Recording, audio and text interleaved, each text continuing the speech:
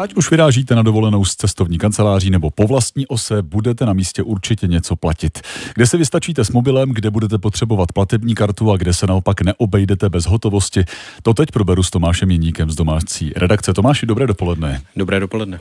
Jsou v jednotlivých zemích Evropské unie nějaké rozdíly při placení kartou? Jsou, a to třeba i v sousedních zemích. V Německu, v Rakousku, ale i v Rakousku, pardon, i v Chorvatsku je placení kartou u obchodníků méně rozšířené než v Česku. A opakem je podle mluvčího České spořitelny Filipa Hrubého sever Evropy. V řadě skandinávských zemí přibývá míst, kde vůbec hotovostí platit nelze, a to například ani v pouličních stáncích s občerstvením.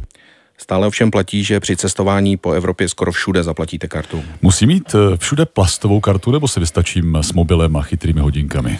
Na mnoha místech si vystačíte, ale je pravda, že ve využívání bezkontaktních pladeb je Česko dál.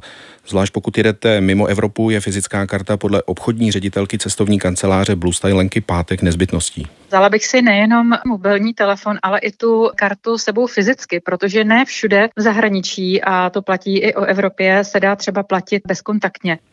Ale když si půjčujete auto, často narazíte na to, že zahraniční půjčovny vyžadují kreditní kartu, ne u nás obvyklejší debetní kartu. Je něco, na, na co bychom si při placení kartou v zahraničí měli dát pozor? Je důležité dodržovat základní pravidla obezřetnosti. Nejčastější problém ale se týká konverze měny. Podle jakého kurzu se platba nebo výběr počítá, vysvětluje Martin Dolej ze společnosti Mastercard. Při platbách zahraničí obchodník nabídne právě v rámci této dynamické konverze na terminálu částku nikoli v měně daného státu, ale v českých korunách. A směna v tomto případě může být provedena z pravidla méně výhodným kurzem, než který vám nabízí váš vydavatel karty. Další nepříjemností může být limit pro jeden výběr v bankomatu, který obvykle bývá kolem 2-300 euro. Vyšší částku pak musíte rozdělit na několik výběrů a při každém zaplatíte klidně i 100 korunový poplatek. Takže má smysl sebou vozit hotovost? Eura nebo dolary v hotovosti se hodí hlavně mimo Evropu, říká Lenka Pátek z Blue Stylu. Já doporučuji si vždycky část toho obnosu, se kterým cestuju, změnit právě na ty eh, jednodolarové papírové bankovky.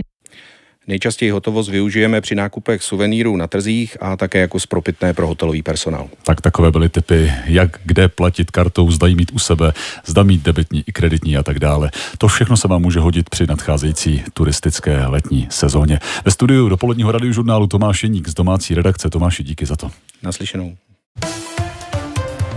Radiožurnál. Každý den s vámi. Dobrý den, jmenuji se Michal Malátný a rád poslouchám Radiožurnál, protože má vysokou kvalitu zpravodajství, má velice profesionální moderátory a je to obecně naše oblíbená stanice, když se vracíme s kapelou domů z koncertu. Taky ho mám rád, protože hraje českou hudbu a hraje hodně český hudby. Takže díky Radiožurnálu za to, co dělá a nám posluchačům přeju kvalitní a čistý poslech. Děkujeme, že platíte rozhlasový poplatek.